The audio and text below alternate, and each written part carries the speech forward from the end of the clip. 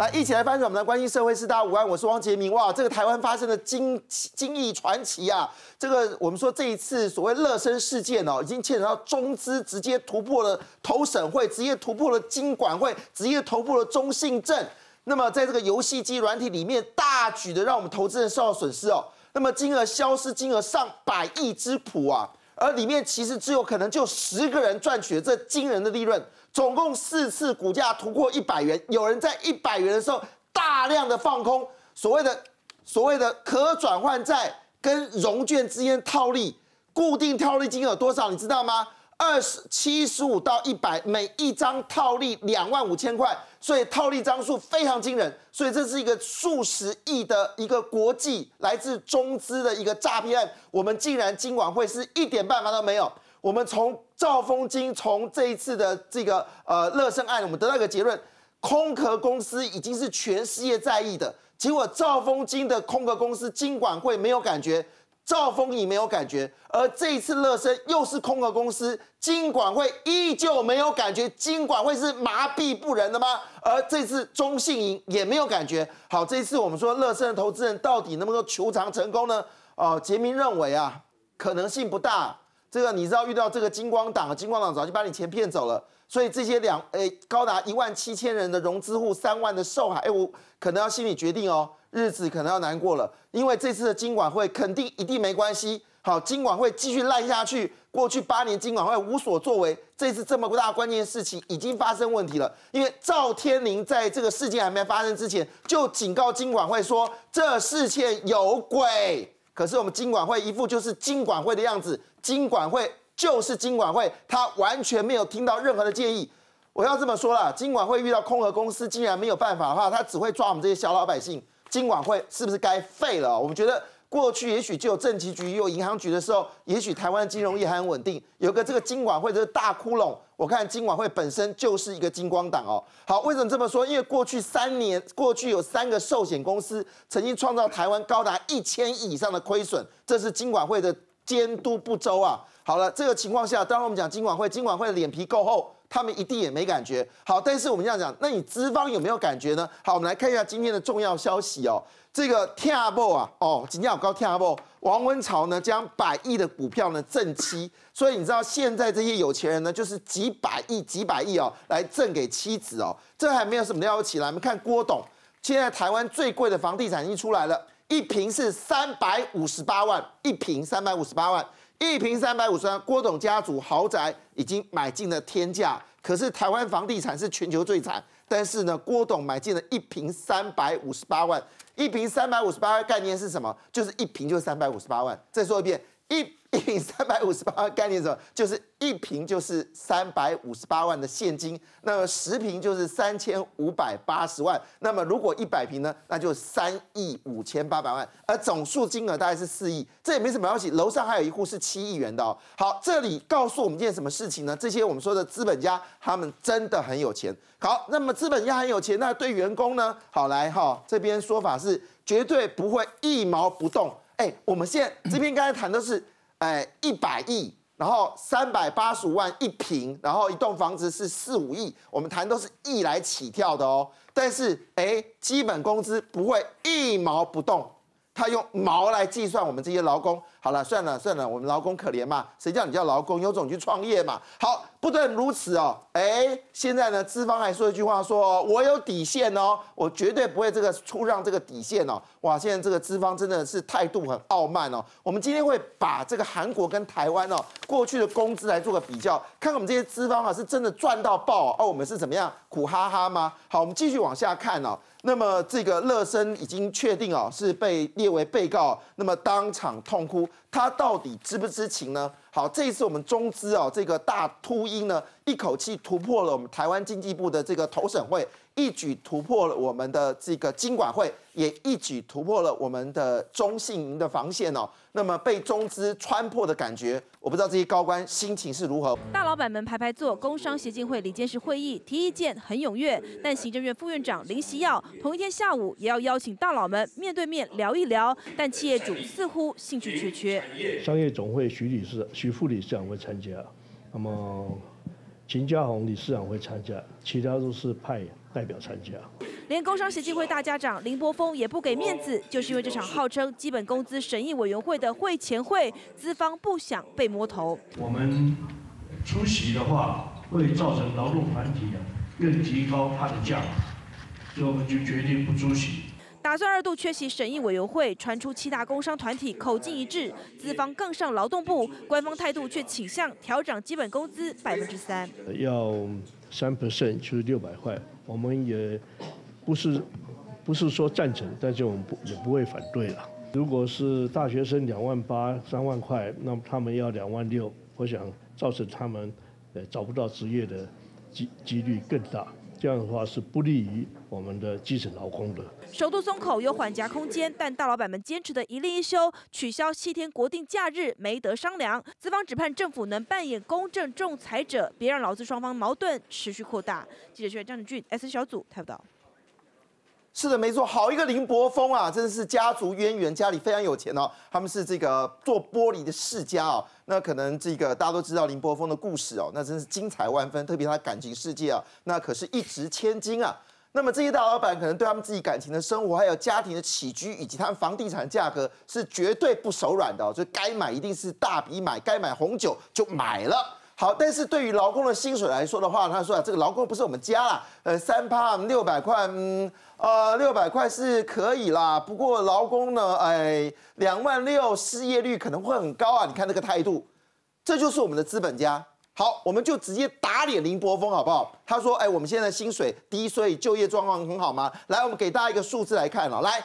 这是在这个马英九时代啊，前九个月的实时薪资倒退十五年的时候，人家说薪资是台湾最棒的一个武器哦。结果来看一下，台湾、日本、南韩、香港、新加坡得到结论是，其实我们的工资最低，实时薪水倒退，但我们失业率是最高的。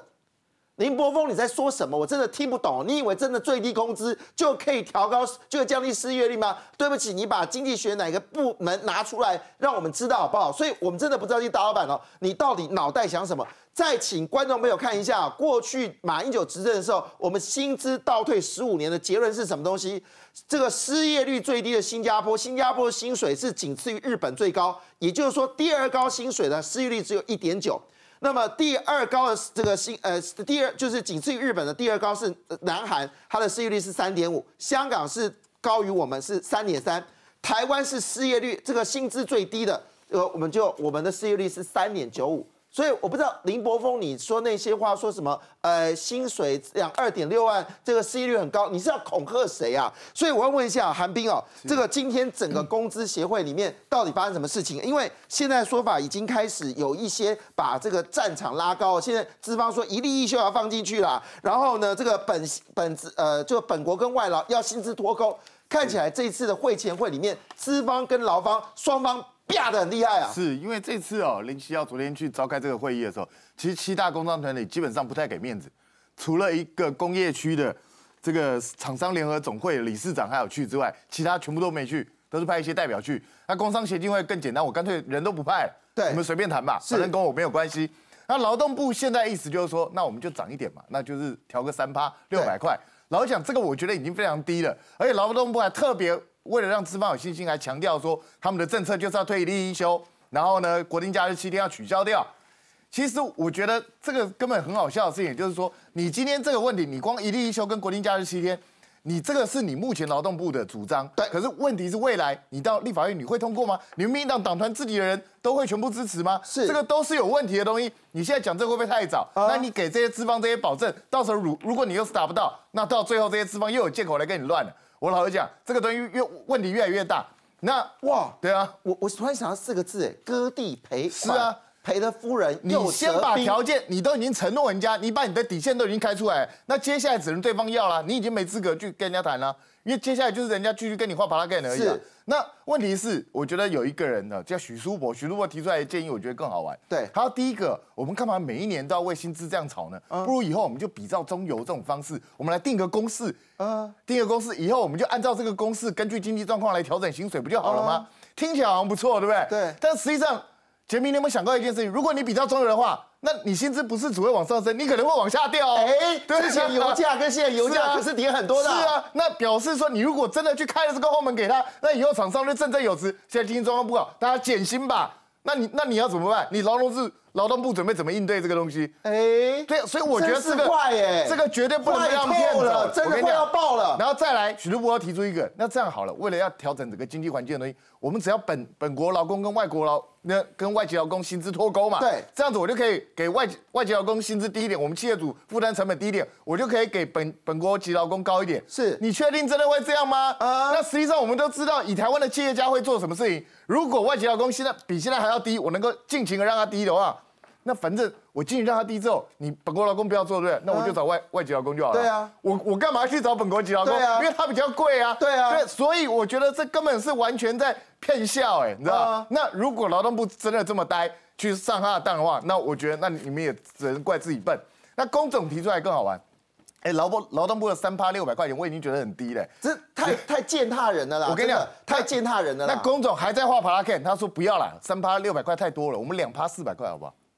我这样讲哈，他随便吃个便当都不止这个钱。是啊，对，我觉得你们有必要去争那一趴两百块钱，这个东西你们都还要争吗？那实际上现在劳方的意见什么？劳方希望两万六，哎，合理啊。对啊，哎，过去这这六年经济增长超过百分之四十，之前是一万八加百分之四十，也差不多两万六啊。是啊，我觉得如果照这种情况下去，那接下来秋豆这些东西会非常惨，因为你双方差距太远了嘛。而且我觉得林柏峰讲那句话更好笑，就是说，他说如果现在基本工资调到两万六的话，那以后大家找企业主一定都找大学毕业生，因为才才差一两千块嘛，我们都会找大学毕业生，我就不会去找一些高中高职的这些。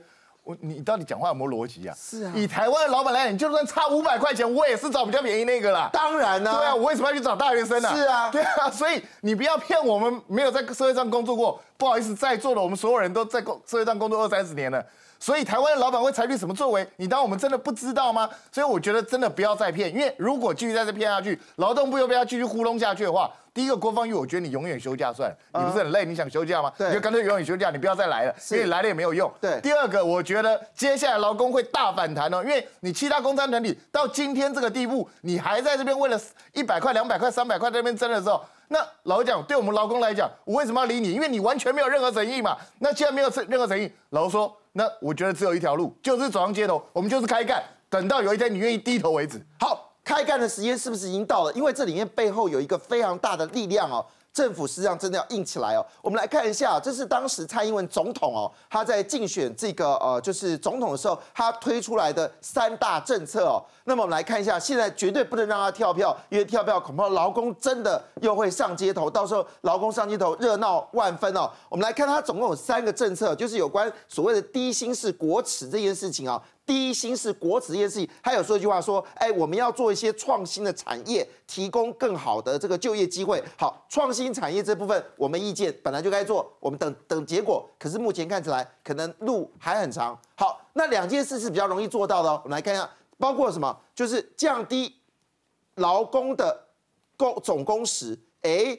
这个就是一例一休的背景嘛，但是看起来连自家立委恐怕都不能接受哦。现在反弹的力量很大哦，现在连这个台台铁、过客运都反弹了。好，那当然最后一件事就是定定最低工资法，bingo 这句话，哇，许淑伯抓到了。所以任俊许淑伯说，好啊，我们就定个工资法，跟中油的油价一样啊，跟电力一样啊，我们来设一个所谓的公式啊，哇，中这个中了陷阱嘞。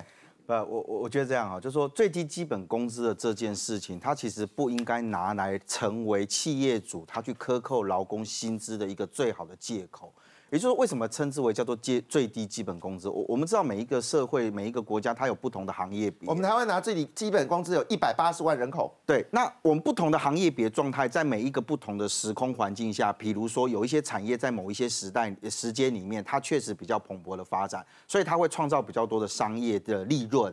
那这一些其实我我讲讲实话，这个你你说某种程度要让它回归到市场的机制，也就是说，我今天这个大公司我赚钱，我愿意多给员工一些的薪资，这个。其实是应该被值得奖励跟肯定的，但问题是因为政府站在一个高度上面，为什么要订定一个叫做最低基本工资？也就是说，您刚刚所提到了，您刚刚说有一百八十八十万人，他领的是最低工资，甚至领不到最低工资。那为什么他会呈现这样的一个状态？所以我们很想问的一个问题是说，当这些企业主选择他要用最低基本工资去发放给这一百八十万劳工的时候，到底是因为他的企业没赚钱，嗯还是企业主只想要自己的口袋装满钱？对。